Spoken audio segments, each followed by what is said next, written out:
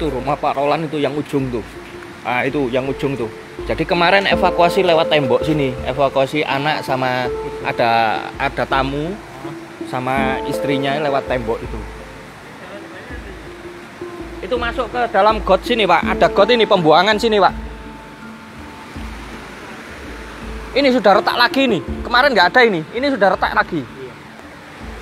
Sudah retak lagi itu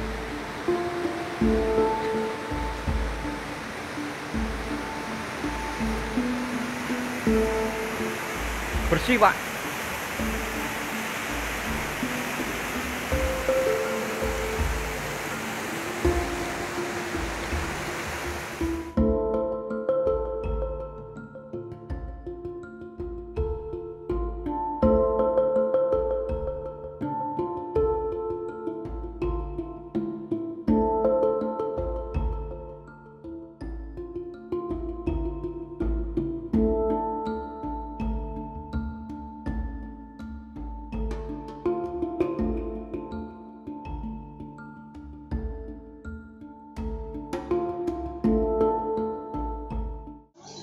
Ya, pertama ada temennya bawa dua orang ini anak-anak ini ke sini lari ke arah ke rumah saya. hmm. Habis itu saya lari ke arah rumahnya Bang Roland sudah sudah tidak ada. Hmm. Saya cuma bisa menyelamatkan dua motor aja, jadi Suzuki sama Jupiter Z itu aja. Kejadiannya sekitar pukul berapa itu Pak? Kisaran jam setengah enaman itu. Hmm. Pak, waktu jenengan ke sana itu eh, Pak Roland sudah nggak ada berarti ya? Sudah Sudah Sudah terbawa terbawa arus. arus. Iya. Eh, terus di rumah Pak Roland ada siapa saja itu? Ada temennya dua orang laki-laki, Hmm. ada dua perempuan. Satu istrinya, satu tem eh, istrinya temennya itu sama dua orang anak. Dua orang anak. Oh.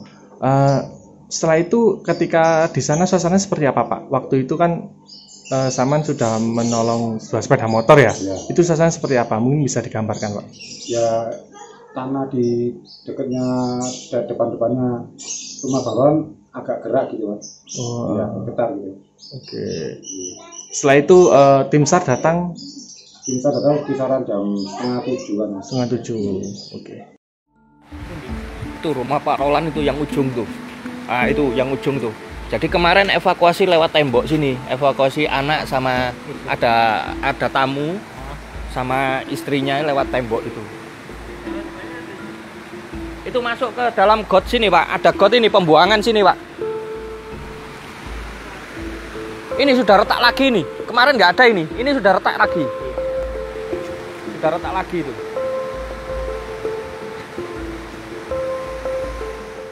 Terima kasih sudah nonton. Jangan lupa like, subscribe, dan share ya.